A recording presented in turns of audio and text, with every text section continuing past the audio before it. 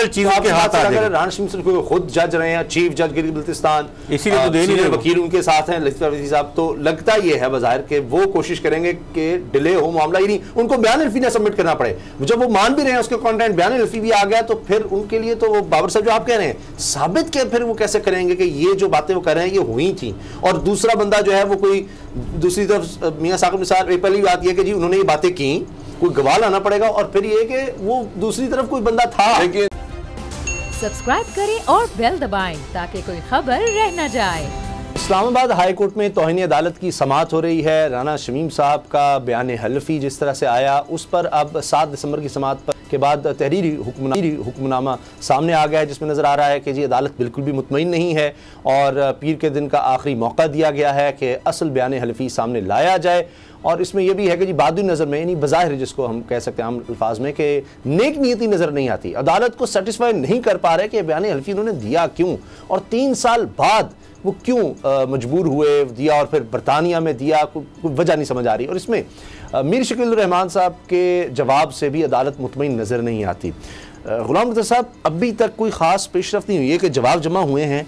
जवाब तसली बख्श नहीं है। अदालत बिल्कुल भी सेटिस्फाई नहीं हो पा रही कि जी, ये सारा हुआ किस तरह?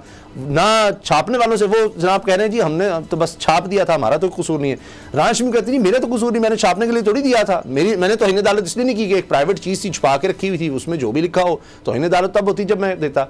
और वो कह रहे हैं, जी हमने तो जो था, वो छाप दिया। हमारा कहाँ है? कसूर है।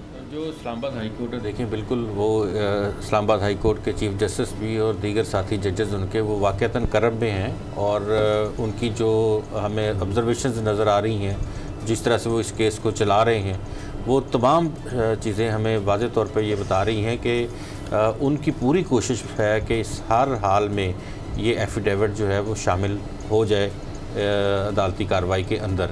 प्रोसीडिंग्स तभी आगे बढ़ सकती हैं। एक तरफ़ तो स्टैब्लिश फैक्ट है कि राना शमीम साहब ने ये बात जो कही कि हमारे पास ये जो एफिडेविट है ये मैंने खुद नहीं दिया किसी को भी। मेरे अ, पोते के पास है वो और मैं ना मुझसे पूछा गया ना खबर छापने से पहले पूछा गया। यानी कि अगर इंसार बाज साहब ने खबर के अंदर ये लिखा कि हमने तो बात की है उनसे तो इट मीन्स कि दोनों चीज़ें उनकी कॉन्ट्राडिक्ट कर गई हैं। अब अखबार पब्लिशर और एडिटर और मुतलका जर्नलिस्ट उनको तो सवाल का सामना ज़रूर होगा कि उनको सबूत दिखाने होंगे। जी अंसार बात सब कहते हैं उनके पास सबूत हैं कॉल के लेकिन अब मसला यह है कि वो कह चुके हैं मैंने उनको कॉल की तो फिर किसी और नंबर से आई। वो अगर कहेंगे जी तो नंबर ही मेरा नहीं है ये फिर एक मामला खराब हो जाएगा कि जी आपने जिसका कहा है मेरा तो ये नंबर नहीं है। लिहाजा मेरी बात तो लेकिन ना जी मैं आपको अर्ज़ करूँ कि इससे पहले अदालतों के पास खुद कोई ऐसा मैकेनिज्म तो नहीं होता कि वो शवाहद ले लें। वो इसी तरह से उनके पास ये टैक्टिस होते हैं, ये उनके पास ऑब्जर्वेशन होती हैं, उनके पास ऑर्डर होते हैं ऑर्डर ऑफ़ द डे होते हैं। वो बार बार कहते हैं कि आप सबमिट करें सबमिट करें। मैं आपको बताऊँ कि अगर राना, जस्टिस राना शमीम साहब जो हैं, अगर उन्होंने मंडे को वो हल्फनामा सबमिट कर दिया तो वो सज़ा पक्की है उनकी। फिर नहीं वो बच सकते।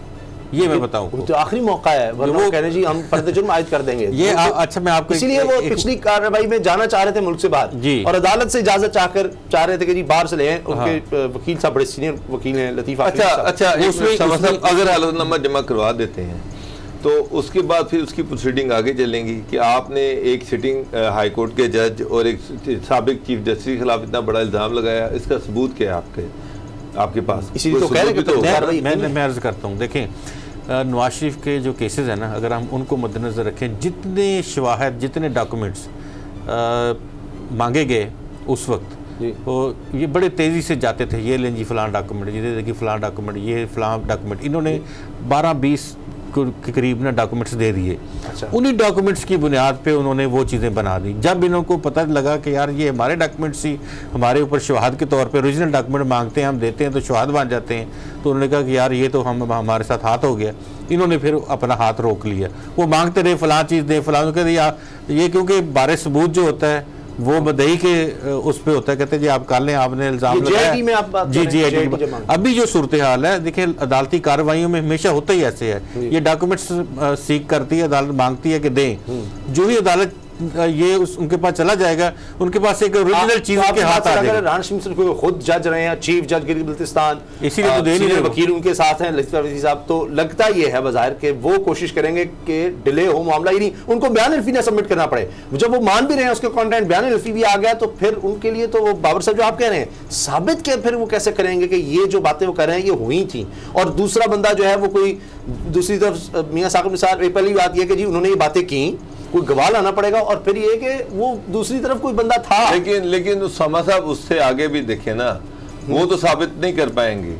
अब बात आती है जो अंसार अब्बासी साहब हैं या मीर शकील रहमान साहब हैं कि जनाब वो तो साबित ही नहीं कर सके कि ये जनाब मैंने सुना था या ये ये जो मैंने बयान अल्फी है ये सच्चा है झूठा है क्या है? तो जिसने आगे स्टोरी छाप दी। एक ऐसी डॉक्यूमेंट पे जिसका सिर्फ़ जिसका कोई जो हवा में लटका हुआ है बगैर किसी तस्दीक के तो वो तो फिर उससे ज़्यादा ज़िम्मेदारी तो उस पर आ गई। उसने तो कहा जी मैंने तो यह बयान अल्फी लिख के लोकर में रख दिया था। तो जनाब जिन्होंने छापा है उन्होंने पब्लिक तो उसने किया। सर, वो कहेंगे, उस स्टोरी की बुनियाद पर ये नोटिस हुआ।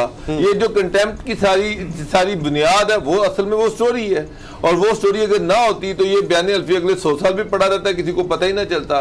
तो असल मेरे नज़दीक असल जो मुलिम है वो अंसार अब्बासी साहब है और मिश्किल रहमान साहब हैं जिनके अखबार में ये छपा।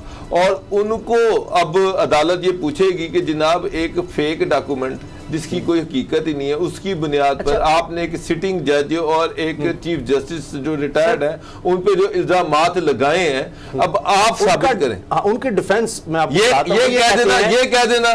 कि जी शमीम साहब से मेरा रहा हुआ ये रिकॉर्ड है ये ये काफ़ी नहीं है। वो कहते हैं नाम भी नहीं छापा। यहाँ पर समा साहब मेरी मेरी का नाम भी नहीं मेरी छापा। बात सुने मेरे पास यहाँ पर सौ हेर से की चीज़ें आती हैं। जी, जी। मैं मैं कि कोई बंदा आके कहे कि चीफ जस्टिस के खिलाफ मेरे पास ये चीज़ है तो मैं कि उसको छाप दूँगा? जब तक कि मैं उसको टोटली उसको हर चीज़ उसकी देख लूँगा कि ये इस काबिल है या नहीं है। और असल चीज़ तो ये लग रही है कि ये एक कैंपेन थी। ये कैंपेन का हिस्सा था जो लंदन से लगा हुआ है, और उसका मकसद ये था कि मरियम का जो केस है उस समय जज को अंडर प्रेशर लेके आना। ये- ये- ये बात जो जो कि इस्लामाबाद हाई कोर्ट ने बड़े ज़बरदस्त तरीके से उसको काउंटर कर ली है। और ये जो एक साजिश थी इसको खत्म कर दिया है।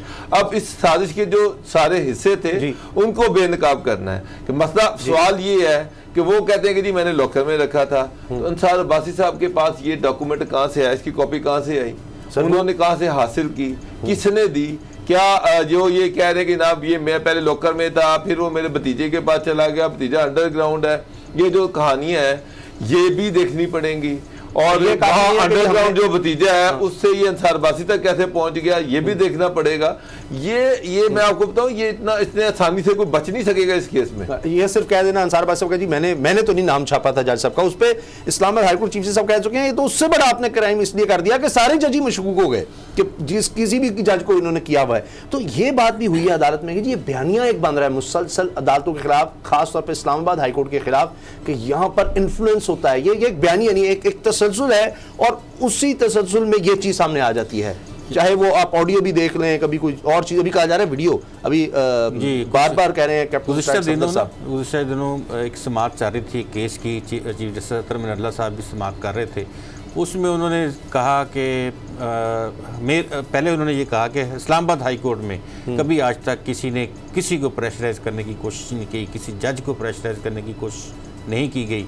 और ये फैसले जो होते हैं हमारे ये आज़ाद अदलिया के फैसले हैं सारा कुछ। जी, जी। अभी ये कर ही रहे थे तो एकदम पता नहीं उन्हें ख्याल आया तो बाद में वो कहते हैं साथ ही उन्होंने उस प्रोसीडिंग के दौरान कहा उसने कहा मेरे होते हुए जब से मैं चीफ जस्टिस हूँ उस वक्त से के, के बाद से मैं बात करता हूँ। बात चौकस जी सिद्दीकी साहब का एफिडेविट उनके हल्फनामे उनकी बातें सब की सब सामने हैं।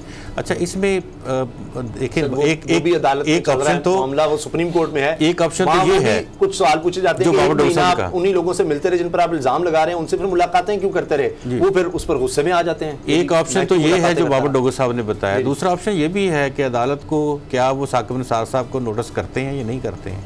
क्या उनसे देखें वो भी हलफनामा एक शख्स ने हलफनामा दे दिया फ़र्ज़ करें वो सबमिट कर देते हैं कि ये मेरा हलफनामा है। वो साथ ये भी कहें कि जी अब दूसरे फरीक से भी हलफनामा मंगवाएँ वो हल्फिया बयान दे कि जी ये काम जो है वो उसने नहीं किया। या उनके बर्डन हो जाएगा। या उनकी मोबाइल की। कि फिर हलफनामे आते रहेंगे जी मैंने दे दिया हलफनामा उसका भी लाएँ। फिर हाँ। हर कोई फिर आप देखें ना एक रिटायर्ड जनरल साहब हैं उनको भी अब याद आ गया जनाब उन्नीस सौ निन्यानवे में बड़ा कुछ गलत हो गया था। अब उसके मुकाबले में क्या फिर अफसारों के एफिडेविट मंगवाएँ? सब्सक्राइब करें और बेल दबाएँ ताकि कोई खबर रह न जाए।